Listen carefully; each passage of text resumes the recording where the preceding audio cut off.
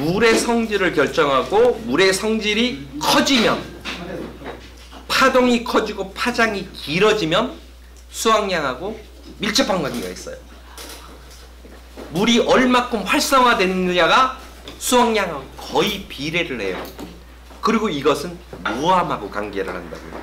기본 땅하고. 그래서 뭔 짓거리를 해야 되냐면 차에다가 1톤 화물차에다가 삽 한 자루 두 명이서 딱 싣고 어디로 가냐면 하천변이던 아니면 산에 가면 임도라고 해서 깎인 흙이 있어 깎인 땅이 있어요. 거기 보면 임도에서 떨어진 흙, 생흙 파오면 안 돼요. 떨어진 흙에 미세토가 안 들어 있는 거. 그거를 파서 천평에 1톤차 한 찬씩. 무게는 2톤이에요. 그러면 어느 정도냐면 뿌리면 그냥 비료 뿌린 것처럼 표면에 그냥 두두두둑 떨어지는 정도의 천평에 2톤이니까 1루베니까 얼마 안 돼요. 걔를 하나씩 가서 뿌려올 때마다 내 땅에서 발생되는 파장들이 달라져. 이것이 충주로 충주 일로 오면 감남석이라고 해갖고 우리가 비료로도 쓰는 땅이 있어요. 그게 비료가 아니고 뭐냐면 물에 파장을 일으키는 거예요. 감남석을 집어 던지면 작물이 잘 나와요. 맥반석을 포함하고 있는 게 감남석이라서 그래요. 감남석? 감남석에 포함된 게 맥반석이 있어요. 그래서 차를 끌고 내 땅 모양하고 다른 곳으로 차를 한 시간을 끌고 가서 1톤을 갖다가 던지고 동쪽으로 가서 퍼다가 던지고 서쪽으로 가서 퍼다가 던지고 그러면 내 땅에 땅이 세 가지가 된 거예요. 못 살아 바빴어. 근데 공생으로 보면 사람이 제일 잘 괴롭히는 법이에요. 근데 그렇게 한 번을 집어넣으면 영원히 가요. 예. 토양 개량도 한 번만 해주면 나머지는 작물들의 뿌리나 이런 것들이. 왜냐하면 우리가 15,000년 동안 농사 지면서 70년 동안 화학 비료가 들어오면서 땅을 한 번도 안 살리는 작업을 했던 거예요. 70년 동안 빼먹었던 일을 하려면 어쩔 수 없이 한 해는 정말 멋빠지게 고생을 할 수밖에는. 없어요. 그래서 그 고생을 안 하고 농사 지을 수 없으니까 어쨌든 그 고생은 해야 돼요. 그래서 다른 땅을 가져다가 내 땅에다가 뿌려주는 일. 이거는 미네랄을 얻는 것과 파동 파장을 얻는 거예요. 가능하면 모래보다 조금 더 큰 걸수록 좋아요. 흙 사이즈가 미세한 게 아니고 자 그리고 그렇게 얻어진 흙을 물에, 물에다 넣어놓고 녹기를 기다려봐요. 몇 년간 녹을까요? 안 녹죠? 자, 아들한테 녹나 보라고 하고 손자한테 녹나고 해도 안 녹아요. 내 땅에 들어간 애는 안 녹아요. 그리고 그것이 기능을 계속해요. 그래서 반드시 사질양토라고 해서 계곡 같은 데서 쫙 여러 가지 흙들이 내려와서 쌓인 곳은 농사가 잘 돼요. 그건 파장, 파동의 문제가 있는 거예요. 굉장히 다양한 파동, 파장이 나오면서 작물이 자라는데 미네랄이나 영양소를 안고 갈 수 있는 능력을 키워주는 건 흙, 토에서 해결해야 돼요. 그래서 외부에 있는 흙을 저는 네 곳이라고 표현하지만 일단 내게 있으니까 두 곳 이상은 갖다 놔요. 도시락 싸갖고 푸는데 한 서너 시간 걸려요. 둘이서 풀면 한 시간이면 열심히 풀면 되고 그렇게 해서 퍼서 갖고 와요. 그래야지만 내 땅에서 드디어 이제 물을 들어간 물을 살릴 수 있는 요소들을 흙에서 만들어낸데 두 곳을 다녀와요. 이게 그냥 일단 흙에 대한 얘기예요. 그냥 자 그래놓고 그 다음에 이제 토양을 만들어야죠. 토양을 만들어야지 뭐가 되냐면 농사가 시작이 될 거 아니에요. 토양을 만들어야지 거기서 미생물이 자라면서 생명이 태어날 거 아니에요. 이 흙을 만드는 것에 대한 이야기들을 할게요. 첫 번째. 그 다음에는 뭐냐면 활성 소금이에요. 농사를 짓는데 소금을 뿌리면 식물이 어떻게 돼요? 죽죠? 소금에다가 식물에다 소금을 뿌리면 죽어요. 근데 한 병에다가 내가 1kg를 뿌리니까 죽어, 죽어요. 500g을 뿌리거나 100g을 뿌리, 뿌리거나 50g을 뿌려는 안 봤죠. 그냥 배추 절이는 것만 봤으니까 이거는 소금은 무서운 거예요. 농업에서 그 저기 미네랄은 틀이에요. 모든 것의 틀은 미네랄이에요. 이 틀이 안 만들어지면 세포의 재생, 세포의 생성, 건강, 작물의 수확 모두 다 아무것도 안 돼요.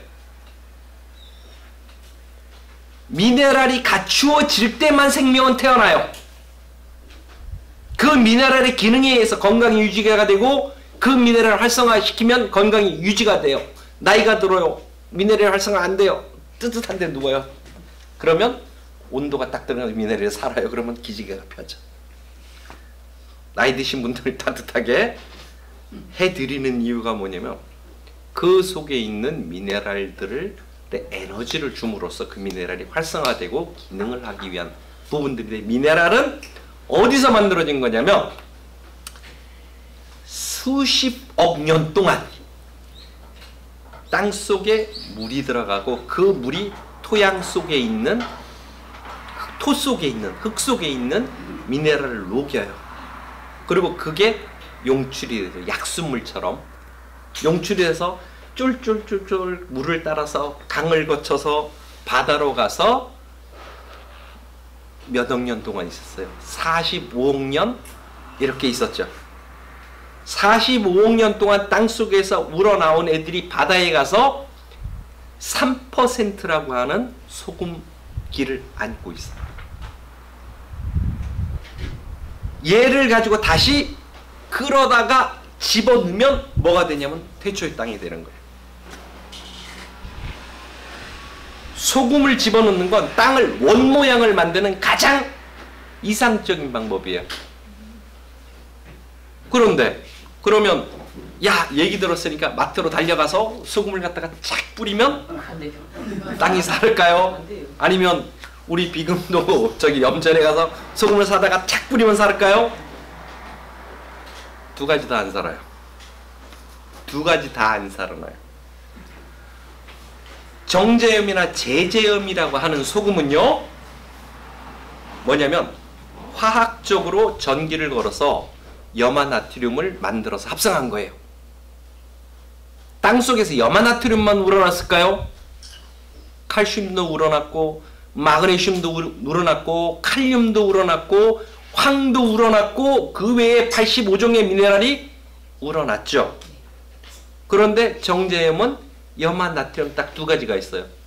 개를 집어넣는다고 땅이 원상태로 가지가 않아요. 개를 먹는다고 몸이 미네랄을 채우지를 못해요. 그래서 정제염이나 제제염은 먹으면 사람들이 천천히 병 들어가고 고혈압하고 이런 것들 땅에다가 정제염, 제제염을 넣으면 땅은 완전히 나트륨 덩어리가 돼버리는 경우가 나와요. 사람 몸이 그냥 나트륨 덩어리가 되는 거예요. 우리가 먹는 모든 것들은 다 뭐냐면 과잉된 나트륨에 의한 병이 엄청나게 많아요. 그러면 토양에서 우러난 것, 토양의 원래 갖고 있는 지구의 총량, 바닷속에 있는 미네랄의 총량하고 동일한 소금을 만들어내야 될 거 아니에요. 그 만들어서 걔를 딱 집어넣어요. 그러면 돼요. 그래서 제일 자연에 가까운 천일염을 딱 봤어요. 그랬더니까 뭐냐면 천일염은 자 천일염은 NaCl의 함량이 78%죠. 그죠? 여기서 물이 몇 프로냐면 11%예요. 그러면 나머지는 어 7, 11 그러면 11 요게 뭐냐면 미네랄 땅 속에서 천일염에서 얻을 수 있는 미네랄은 이거밖에 안 돼요. 그것도 뭐냐면 인일염이 아닌 2, 3일 만든 소금. 소금 1일염이라고 해서 우리가 되게 비싼 거 먹어요. 암염이나 이런 거 키로당 가격이 얼마인 줄 알아요? 무진장 비싸요. 요만게 포장돼 있으니까 별거 아니라고 생각하지만 그거 키로당으로 따지면 2만 5천 원 넘어요. 가장 유통되는데 싸게 해도 근데 우리나라에 그 암염에는요 얘가 이거 이건 천일염이고요 정제염 제제염 만든 소금은 99.999 이렇게 가요. 암염은 99.7% 미네랄 양이 0.3% 천일염이 11%예요 그러면 최소한 몇 배요? 30배 이상은 땅에 필요한 미네랄이 있, 있- 있어요. 얘를, 얘가 우리가 여기서 얻고자 하는 거는 뭐냐면 저기 칼륨 칼슘 마그네슘 황. 이런 것들이에요. 이거를 얻으려고 하는데 0.3%짜리 갖고는 너무 부족해요. 이게 얼마만큼이 있는 게 자연이냐면 얘가 절반 이상이에요. 자연 상태에서 존재할 때의 땅속의 미네랄 체계를 봤을 때는 얘가 절반 이상이어야 돼요. 거의 60% 가까이 접근되는 상태여야 돼요. 그러면 11%니까 부족하죠. 부족하니까 그럼 다섯 배를 넣어요? 그럼 어떻게 되냐면 얘가 너무 많이 늘어나는 거예요. 또 땅에. 그래서 요 놈을 없애는 방법. 이게 활성소금을 만드는 방법이에요. 오늘은 소재를 만드는 방법들이 쭉 하고 사용량에 대한 것들도 얘기를 기본적으로 갈 거예요. 거기다가 또 공생 이거까지 하려면 오늘 너무 바쁘다. 자, 이런 애들이 들어와야지만 기본적으로 작물은 성장이라고 하는 틀을 만드는 미네랄을 만드는 것에 의해서 건강, 그 다음에 면역 체계, 농약, 비료를 안 쓸 수 있는 기본이 이거예요. 자, 그러면 농약방에 가서 사오면 되죠, 얘를. 그죠? 예. 되잖아요. 미라고면서 판대. 어. 근데 걔들은 자연형이 아니에요. 소금에 들어있는 애들은 뭐냐면 각기 바다에서 완벽하게 유리되어 있는 자유로운 아이예요. 그리고 얘들은 뭐냐면 그냥 무기형 미네랄이에요. 광물질이나 이런 데서 유출해내서 그래서 뭐가 되냐면 흡수율이나 이게 전혀 안 맞아요.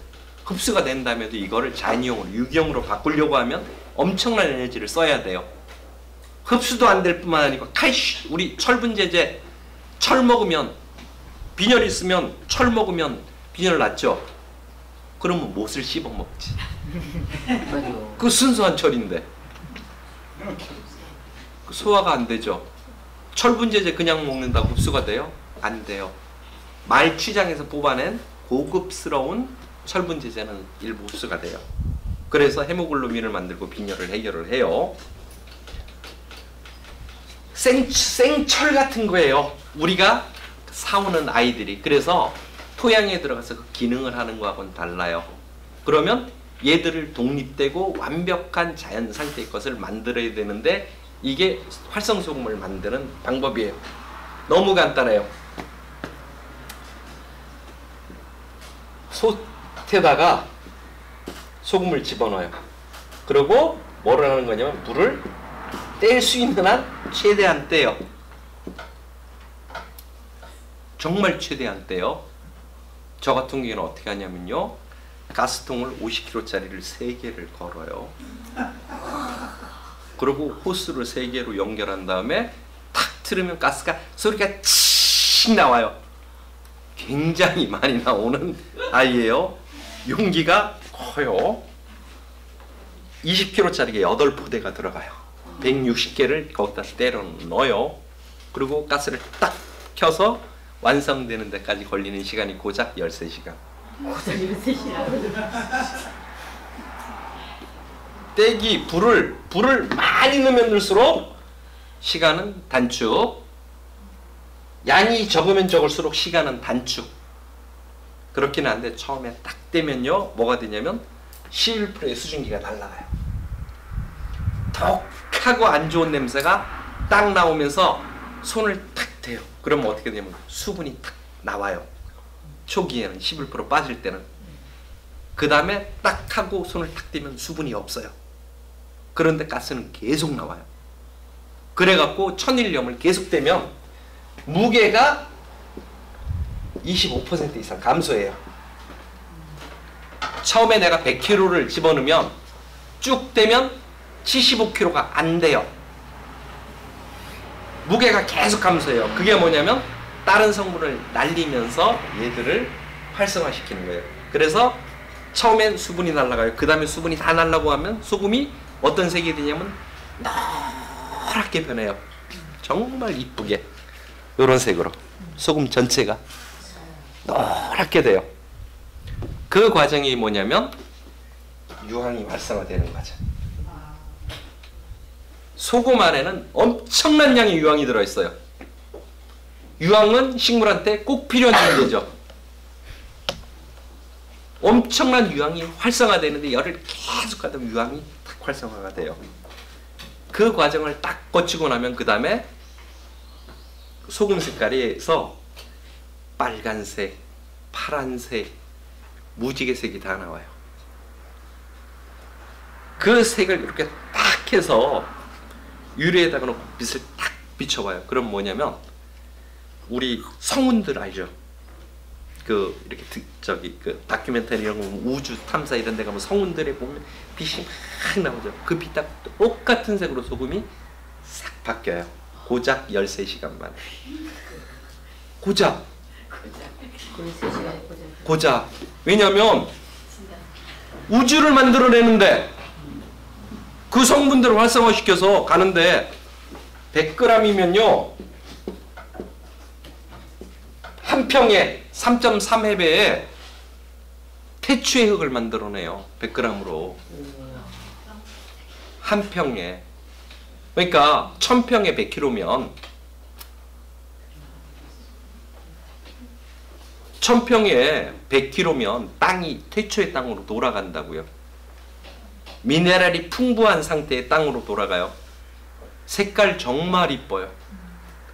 근데 이 소금을 가지고 다 구웠어요. 그걸 구내를 잘 구웠는지 색으로도 다 나와요. 무게도 충분히 갔어요. 이걸 내가 잘 만들었는지 어떻게 실험하냐면 거기다가 못, 못을 일반 일반 소금물에다가 못을 집어넣고 여기는 반대로 녹슨 못을 집어넣어요. 녹슨 칼을 집어넣어요. 그러면 어떻게 되냐면 일반 소금은 산화된 거예요. 천일, 천일염은 열을 받고 태양이 들어오고 공기가 들어오면서 바다에 있는 성분이 산화가 됐어. 그래서 pH를 딱 찍으면 산성이 나와요.